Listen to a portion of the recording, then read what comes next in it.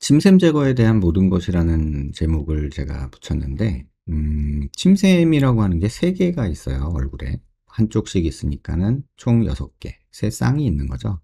그래서 귀 옆에 있는 귀밑샘, 턱 밑에 있는 턱밑샘, 혀 밑에 있는 혀밑샘, 이렇게 있어요. 근데 여기 이미지에서 보시다시피, 침샘 주변으로 엄청나게 많은 신경과 혈관들이 지나다니고 있죠. 그래서 이 침샘을 제거한다는 게뭐 이렇게 간단한 그런 수술은 아니에요. 그래서 그런 데에 대해서 조금 문헌 자료, 그 다음에 환자분들한테 좀 설명드릴 내용, 그 내용을 조금 말씀을 드릴게요. 이 댓글을 보고, 아, 이거 한 번은 말씀을 드려야겠다.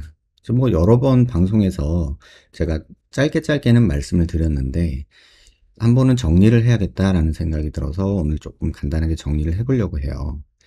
이 질문 주신 분이 뭐라고 적어주셨냐면, 원장님, 저는 귀밑샘 제거를 꼭 하고 싶은데요. 신경 손상 위험이 있다는 영상도 보았습니다. 이비인후과에서 상담받았는데, 원래 침샘이 큰 사람이 있다고 그냥 살라고 하시네요. 그러기에는 평생 스트레스 받고 살아서 꼭 하고 싶은 마음인데요. 어디에서 상담받고 수술할 수 있는지 궁금해요. 그러니까 이런 비슷한 내용으로 진료실에 오셨던 분들이 있어요. 그래서 어, 뭐 대학의 성형외과나 이비인후과에 이렇게 제가 보냈던 그런 환자분들도 계신데 어, 그분들이 나중에 다시 오셔서 하시는 말들도 똑같아요. 성형외과에서는 이비인후과 가라. 이비인후과에서는 그냥 살아라. 성형외과에서는 또 수술하는데 너무 위험성이 커서 못한다.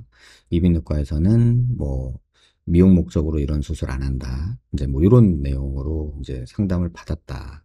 도대체 그러면 나는 어디서 수술을 해야 되냐 이러고 저한테 찾아오셨던 분들도 계세요. 그래서 오늘은 이 내용을 조금 한번 그냥 정리를 해보려고 해요.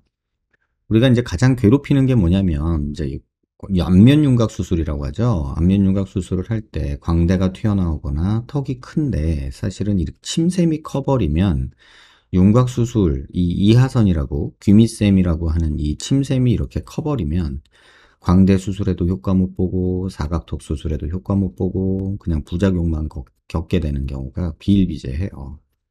그래서 근본적으로 요 침샘이 이렇게 큰 경우는 요게 제거가 되지 아니하면 사실은 그 어떤 수술로도 얼굴이 작아지는 효과를 기대하기가 힘들죠. 그래서 이 주변으로 많은 얼굴 신경과 또 혈관들이 지나가고 있는데 가장 중요한 건 사실은 신경이죠. 그래서 침샘만 보면 이렇게 귀밑샘, 그다음에 턱 밑 뒤에 있는 턱뼈 뒤에 있는 이 턱밑샘, 그다음에 혀 밑에 또 있는 혀밑샘이 있거든요. 근데 혀밑샘 자체는 사실 미용 목적으로는 큰 영향을 주진 않아요. 어차피 보이지가 않아서. 근데 귀밑샘이 큰 경우는 얼굴이 좌우로 넓고 사각턱이 큰 것처럼 보이는 착시 현상이 생기고요. 그 다음에 턱밑샘의 같은 경우에는 사각턱 절제를 너무 많이 한 경우에 이 침샘이 드러나 보여서 마치 이 턱선에서 혹이 달려 있는 것처럼 보이는 이런 모습이 만들어지게 되죠. 특히나 CT에서도 보면은 이렇게 동그랗게 턱 밑에 턱을 자르지 않았는데도 턱뼈가 작아서 이렇게 동그랗게 혹처럼 한 밤알 정도만하게 대추알보다는 크고 밤알 정도만하게 이렇게 있는 경우가 있고요. 보통 보면 한 2.5cm에서 12mm 정도 되는 이렇게 크게 있는 이런 침샘이 이제 턱밑샘이라고 하는 게 윤곽 수술 후에 우리 성형외과 영역에서 이제 환자를 괴롭히는 그런 영역이죠. 그래서 보시면 귀밑샘은 가장 큰 침샘이에요. 그래서 얘가 침을 이렇게 막 만들죠. 그래서 입 안쪽에 여기 이 어금니, 두 번째 어금니, 위쪽에 볼 안쪽으로 이 스탠슨 덕트라고 해서 이렇게 구, 그 관이 있어요. 그래서 여기서 만든 침이 요 입안으로 나오게 되죠. 그 다음에 이 서브맨디블라 그랜드, 턱밑샘과 혀밑샘은 왓튼스 덕트라고 하는 애로 통합돼서 이렇게 혀 밑에 이렇게 구멍 여러 개로 침이 나오게 되는 이런 관계가 있어요. 그래서 이런 세 가지 침샘이 있고 크게 보면은 우리가 문제가 되는 거는 이 귀밑샘이 사실은 미용 목적에선 가장 큰 문제고 그 다음에 사각턱을 많이 자른 경우에는 이 턱밑샘도 괴롭히게 되죠. 근데 문제는 이 샘들 이런 그 침샘들이 주변으로 안면신경이 굉장히 많이 이제 분포한다는 거예요. 특히 이 귀밑샘 같은 경우는 두 층으로 나눠져 있거든요. superficial lobe하고 deep lobe이 있는데 그 superficial lobe과 deep lobe 사이로 신경이 지나가요. 안면 신경이. 여기 그림에는 조금 잘못 그려졌는데 요 귓볼 아래 요 뒤에서 요 뒤에서 요렇게 신경이 나와요. 그래서 이마로 가는 branch, 눈가로 가는 branch, 입가로 가는 거, 턱 밑으로 가는 거, 그 다음에 이 목으로 가는 거 이렇게 다섯 갈래로 신경이 나오게 돼요. 그래서 보면은 이 신경이 여기 귓구멍이 여기 있고요. 귓구멍 바로 밑에 여기서 뇌신경으로서 나와서 이렇게 신경이 분포하게 되는데 딱 침샘이 그 신경을 싸고 있는 형태예요. 그래서 겉에 슈퍼피셜 롭을 제거하면 신경이 아예 다 드러나게 되죠. 수술은 어떻게 하느냐? 그러면은 워낙에는 이런 식으로 이 파란색 라인으로 이제 절개를 해서 침샘을 제거하는 게 이제 전형적인 이비인후과 수술 영역이었고요. 최근에는 이 흉터가 보기 싫다고 그래서 저희가 이제 안면 거상하는 라인 따라서 이렇게 빨간색 라인이나 검정색 라인으로 약간 뭐 변형을 해서 수술을 하는 게 조금 더 일반적이 됐죠. 근데 이 수술의 단점이 뭐냐면 여러분들이 많이 아시는 미니 거상의 단점이기도 하지만 이런 식으로 이렇게 절개를 해서 수술을 하고 나서 이 피부를 잘 당겨주지 않으면 여기 보시다시피 이런 칼귀라고 해서 이런 칼귀 변형이 생겨요. 그러니까 귓볼이 사라지는 거죠. 그래서 이런 식으로 귓볼이 사라지는 경우가 많아서 이 거상할 때 여기를 잘 당겨줘야 된다. 이게 중요한 포인트가 될 거예요. 뭐 이건 칼라 사진인데 수술 중에 찍은 사진이에요. 근데 이제 색깔이 있으면 여러분들이 좀 많이 혐오스러울까봐 흑백 처리했고요. 아까 말씀드린 대로 귀 앞에서 이렇게 절개해서 목 밑까지 이렇게 쭉 절개를 하는 거예요. 조금 이 경우는 사진을 찍으려고 그랬는지 너무 많이 절개하긴 했는데 여기서 보면은 어, 이그 귓볼 밑에서 신경이 나오는 게 이렇게 보이죠. 여기 이렇게 보이는 게 다 신경이에요. 이 녀석들이. 그 다음에 요 침샘에서 나오는 이렇게 스탠슨 덕트라고 입 안쪽으로 가는 침샘이 지나가는 관이 이렇게 또 있는 거죠. 그래서 이런 식으로 신경이 여러 갈래가 바로 드러나야 돼요. 근데 이렇게 되면 꼭 신경이 잘리지가 않더라도 이렇게 노출된 것만으로도 일시적으로 신경이 마비가 와요. 그래서 이 수술의 가장 큰 단점은 이 신경이 마비가 왔을 때 얼굴이 굉장히 많이 찌그러져요. 그래서 누가 봐도 혐오스러운 이상한 그런 얼굴 마비 증상이 오기 때문에 미용 목적으로 이 수술을 진행하지 않았던 거예요. 그래서 최근에 논문을 좀 뒤져보다 보니까 2013년도에 나온 논문인데, 어, 이게 우리가 수술을 할 때, 침샘을 제거할 때, 귀밑샘은 이렇게 열어서 지금 말한 인시전 방법으로 그 안면 거상하는 그 칼집 내는 데를 따라서 이렇게 하는데, 턱밑샘이나 이 혐의쌤 같은 경우는 밖에서도 할 수 있고 입 안으로도 할 수가 있어요. 근데 어쨌든 흉터 남는 게 싫으니까 입 안으로 하는 것들을 조금 더 선호하기 시작했는데 근데 이게 또 마냥 입 안으로 하는 게 능사가 아닌 것이 그 두 가지를 이제 비교해 놓은 논문이 있더라고요. 그래서 요거를 여러분들한테 좀 소개를 드릴게요. 그러니까 혀 밑으로 할 때는 어떻게 하냐면 지금 여기 보시면 지금 이게 이빨이잖아요. 그러니까 여기가 앞쪽이고요. 이게 어금니예요. 이게 혀고요. 이게 턱 retractor라는 걸로 이렇게 혀를 이렇게 밀어내면 혀 바닥이 있는데 여기 이렇게 절개를 해요. 그래서 이렇게 절개를 하면 여기서 이제 턱밑샘이나 이런 것들을 혀밑샘을 제거하고 나면 여기 작은 그 크게 화살표로 하는 요게 요 녀석이 Wharton's duct라고 해서 침샘이 나가는 그 관이에요, 관. 그 다음에 여기 작은 화살표로 이렇게 보이는 게 이게 이제 hypoglossal nerve, lingual nerve라고 하는 거예요. 이거는 혀의 감각, 맛을 느끼는 그런 것들을 이제 뭐 하는 그런 감각신경이라고 보시면 돼요. 그런데 또 이렇게 다 뒤쪽으로 가보면 여기 짧은 화살표가 하이포글로살 러브라고 해서 얘는 또 혓바닥을 움직이는 우리가 혀를 음 메롱도 할 수 있고 음할 수도 있고 이렇게 말 수도 있잖아요. 이거 아시죠? 여러분 이거 되시나요? 이렇게? 이거 안 되는 것도 있어요. 그 다음에 뭐, 이렇게 하거나, 음, 이런 거. 그러니까 혓바닥을 우리가 이렇게 움직이는 그런 거를 이제 작용하는 게 이 hypoglossal nerve고요. 그 다음에 이렇게 lingual nerve가 이렇게 또 있고, 그러니까 lingual nerve보다 hypoglossal nerve가 좀 더 안쪽에 있게 되죠. 그래서 이 논문에서 말하는 건 뭐냐면 입 안으로 했을 때랑 입 바깥으로 했을 때 그 위험도나 이런 게 어떻게 다르냐.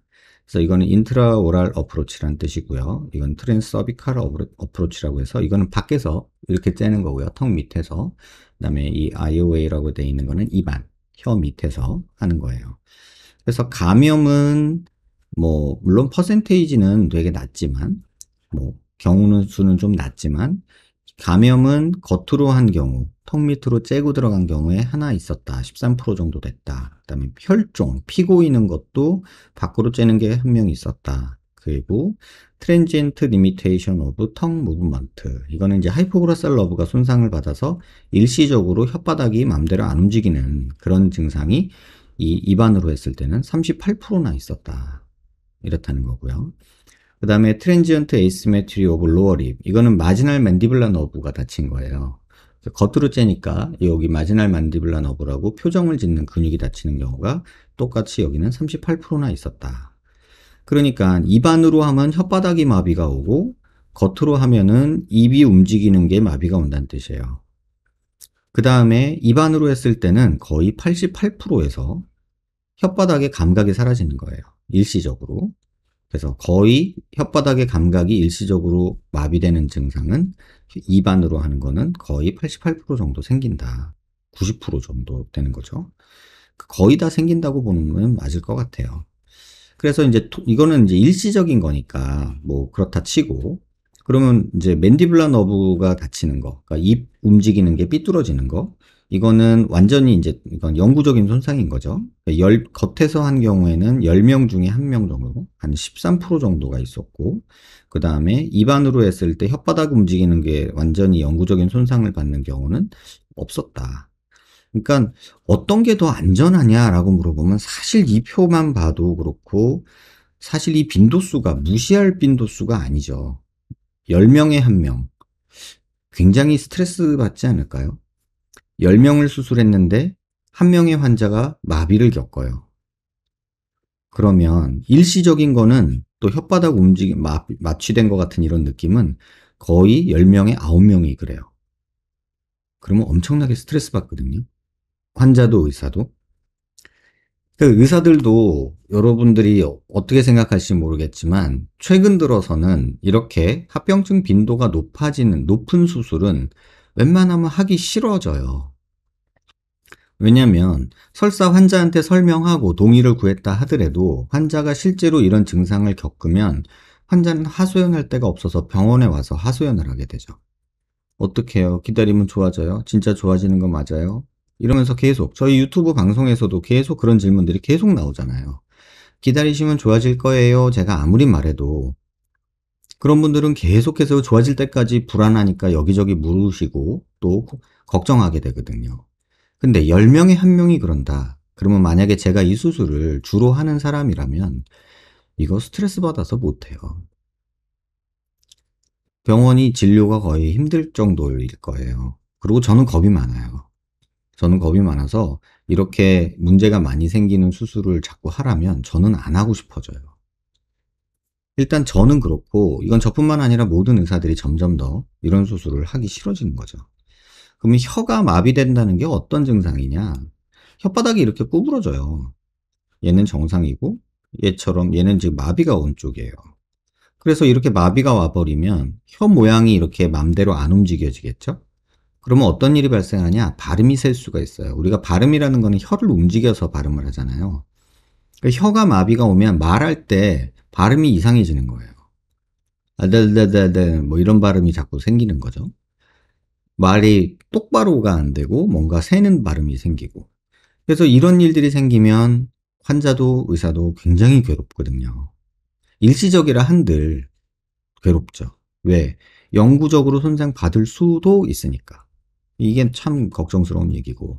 이게 이제 입 안으로 수술했을 때 생길 수 있는 대표적인 부작용. 이게 빈도수가 적지 않고 또 수술 후 일시적으로는 거의 겪게 되는 이런 불편함들이 있다는 뜻이에요. 그 다음에 요 경우는 이제 안면신경 마비예요. 자, 이쪽이 정상일까요? 이쪽이 정상일까요? 여러분 한번 맞춰보세요. 이게 오른쪽이라고 하고요. 이게 오른쪽. 한번 댓글창에 써보세요. 오른쪽이 정상일까요? 왼쪽이 정상일까요? 이거 성형외과 친구들도 가끔 헷갈리는 얘기예요. 뭐 전문이 아니고 전공의 친구들 얘기하면 뭐 많이들 헷갈려 해요. 왼쪽이 정상일까요? 오른쪽이 정상일까요? 이게 오스키라고 해가지고 성형외과 전문 시험 중에 실제로 환자 진찰하는 실험 시, 그 시험이 있거든요. 모의 환자를 데리고. 근데 거기 항상 나오는 내용이에요. 보시면 대부분의 이제 사람들이 오른쪽이 정상이라고 생각하기가 쉽거든요. 근데 오른쪽이 마비가 온 쪽이고요. 왼쪽이 정상이에요. 이게 어떻게 판단하시면 되냐면 이게 입에 힘을 주고 웃은 거예요. 이렇게. 이거 보시면 이건 침이라고 생각하신 거예요. 이거를? 제가 하나 보여드릴게요. 자, 제가 웃을 때 예를 들면 이렇게 웃어요. 음. 음, 입꼬리가 이렇게 같이 올라가죠. 이렇게. 또는 입을 삐진 듯이 이렇게 내렸어요. 이렇게 내린다고 생각해 보세요. 이렇게. 그럼 여기를 내리는 거거든요. 근데 이거 내리는 게 안 돼요. 그럼 얘는 올라가고 얘는 내려가요. 근데 이거 보시면 웃고 있는 거예요. 이렇게. 이렇게 한 거예요. 이렇게 했는데 여기는 안 올라가요. 그럼 이렇게 되겠죠. 그럼 여기만 올라가요. 또 보시면 이게 영향을 주는 게 눈을 감는 것도 뜨는 건 아니고요. 눈을 감는 것도 안면신경이에요. 근데 보면은 여기 보면 눈이 조금 이렇게 밑에 눈동자에 걸려 있죠. 근데 여기는 눈동자가 떠요. 다시 말하면 이 눈을 감는 근육인 이 알륜근 이렇게 눈 주변에 동그랗게 있거든요. 얘가 마비가 오면 눈꼬리가 살짝 이렇게 처져요. 이런 일이 생기고 또 하나 이마를 치켜뜨면 여기 주름이 생기는데 여긴 이마 주름이 없어져요. 어쨌든 오른쪽이 이렇게 손상을 받으면 이렇게 전형적인 안면마비 증상으로 가장 환자분들이 힘들어하는 거는 입 삐뚤어지는 거예요. 이 경우에는 발음이 좀 바뀌고 이건 입이 삐뚤어져서 표정 지을 때 굉장히 요상한 느낌이 드는 거죠. 그래서 이런 부작용을 우리가 감내하면서까지 해야 되냐? 이게 이제 의사들의 숙제인 거죠. 그래서 요 내용을 가지고 제가 제 개인적인 얘기를 먼저 드릴게요. 그러면 선생님 이 수술 왜 안 해요? 라고 물으면 수술할 줄 몰라서 못하는 거는 아니고요. 수술 안 해봐서 안 하는 것도 아니고요. 이런 일이 생기면 사실 마땅히 해줄 게 없어요. 약 쓰면서 기다리는 것밖에 없거든요. 근데 이 기다림이 환자한테는 너무나도 힘든 과정이에요. 아까도 말씀드렸지만 병원에 와서 막 속상한 얘기 할 거고 또 어떤 환자들은 동의서를 쓰고 다 수술 전에 설명을 했더라도 내가 진짜 이렇게 될 줄 알았으면 아, 자, 이 수술 안 했지. 수술할 때 네가 일부러 자른 거 아니야? 실수로 자른 거 아니야? 이런 식으로 뭐 소송을 건다거나 이제 뭐 피곤한 일이 생길 수도 있겠죠. 그게 싫은 거예요.